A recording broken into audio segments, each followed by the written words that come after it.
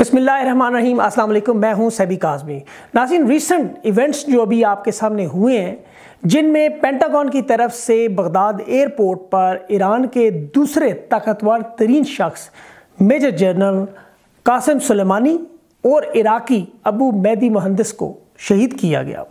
اس کی ذمہ داری امریکہ نے لی، انہوں نے اسے ٹارگٹ کیا گیا۔ یہ general major general Qasem Soleimani صاحب اصل میں ہیں کون؟ اگر آپ ان کا پس منظر دیکھیں تو یہ ایک بڑے غریب اور متوسط گھرانے سے تعلق رکھتے تھے۔ کسان ان کے والد تھے اور کام یہ اپنا زرعی اور زراعت سے متعلق اپنی کھیتی باڑی کرتے تھے۔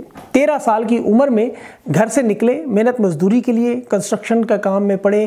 پاسداران نے انقلاب کو جوائن کیا، امام خمینی کی فورس اس وقت بنی تھی، القدس میں داخل ہوئے اور پھر آہستہ آہستہ ترقی کرتے رہے۔ انیس سو اسی میں چراٹ میں ایس ایس جی کے ساتھ پاکستان میں کمانڈوز کی ٹریننگ لی، جس کی آپ نے جنرل اسلم بیگ صاحب کے ساتھ تصویریں دیکھی ہیں ریسنٹلی اس کے بعد ان کی پروموشن ہوتی رہی رینکس بڑھتے رہے اور پھر انہیں ایران کا سب سے بڑا میڈل الزلفکار ملا۔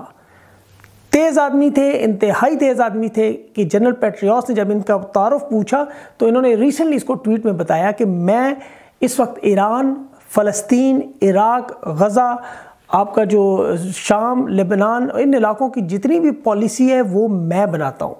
اس سے جنرل پیٹریاس کو بھی اندازہ ہوا کہ یہ شخص انتہائی طاقتور اور ایران میں بہت مقبول ہے۔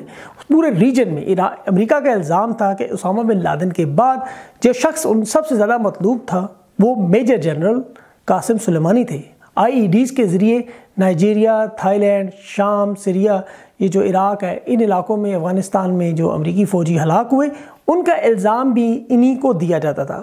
بہت زیادہ نقصان امریکہ کو ان سے اٹھانا پڑا۔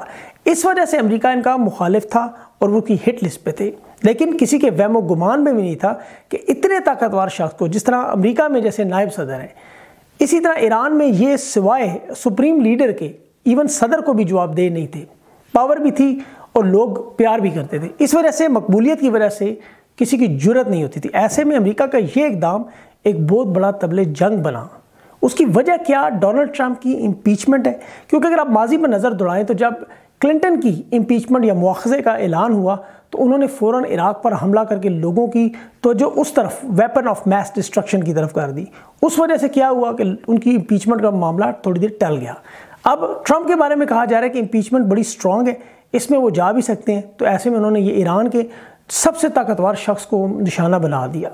اب دنیا کی نظریں اس بات پر ہے کہ کیا تیسری جنگ جنگ عظیم ہو سکتی ہے اور اس کے کیا اثرات ہو سکتے ہیں۔ مثال کے طور پر اگر آپ تیل کی قیمتوں کو دیکھ لیں تو نو پرسنٹ کے اضافے سے تیل سکسٹی نائن بیرل سے سو کا پہنچا۔ عام الفاظ میں پاکستان میں دو سو روپے لیٹر کا پیٹرول اور آپ خود اندازہ کریں مہنگائی کہاں چلی جائے گی۔ دوسری طرف اگر اس وقت آپ ڈسٹنس دیکھیں تو ایران اور سعودی عرب کا تقریباً گیارہ ہزار کلومیٹر کا ڈسٹنس ہے۔ ایسے کوئی ویپن نہیں ہے ایران کے پاس جو امریکہ تک پہنچیں گے۔ ہوگا کیا کہ جو اس کے ارد گرد بیسز ہیں، جیسے سعودی عرب میں ہے بحرین میں ہے یا آپ کے شام میں ہے افغانستان میں ہے عراق میں ہے ان ایئر بیسز پر ایران کی طرف سے ضرور حملہ ہوگا۔ جب یہ حملہ ہوگا تو وہ یہ حملہ اس ملک پر تصور کیا جائے گا۔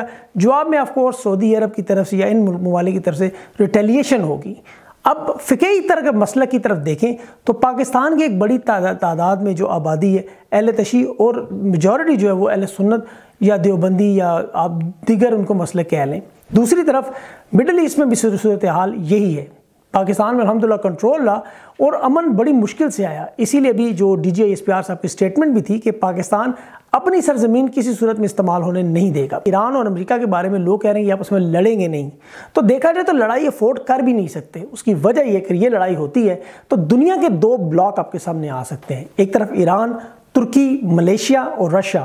جبکہ دوسری جانب اسرائیل آ سکتا ہے، اس کے ساتھ آپ کا جو سعودی عربیہ ہے، امریکہ ہے یہ لوگ بھی ایک بلاک بنا سکتے ہیں اور دنیا ڈیوائیڈ ہو سکتی ہے۔ اب اس ریجن میں کتنے لوگوں کے پاس نیوکلیر پاور ہے اور آپ خود اندازہ کر لیں کہ یہ کس طرف یہ معاملہ جا سکتا ہے۔ اسی لیے اس معاملے کو روکنے کے لیے جو بیک ٹور چینل میں بات بھی ہو رہی ہے، قطر کے ذریعے ایران کو آفرز بھی کی گئی ہیں کہ آپ کی معاشی ترقی جو رکی ہوئی ہے سالہ سال سے، اس سے ہم بڑھا دیں گے۔ تیل کی پیداوار میں آپ دنیا کے نمبر ون ملک بن جائیں گے۔ آپ کے جتنے بھی اکاؤنٹ اس وقت منجمد ہیں، وہ سارے کھول دیں گے۔